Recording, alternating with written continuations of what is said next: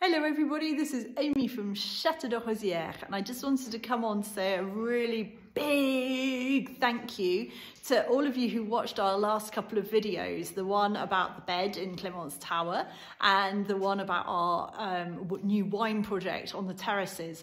So many of you watched them that YouTube is just starting to promote us to other people now and we've got 800 new subscribers. Welcome everybody. Um, there's more to come. We're going to be putting out an episode every Friday for at least the next eight weeks. And I'm down here at 9.30 at night in the coach house, carrying on with some of my biggest projects in the hope that I can get them out to you very, very soon.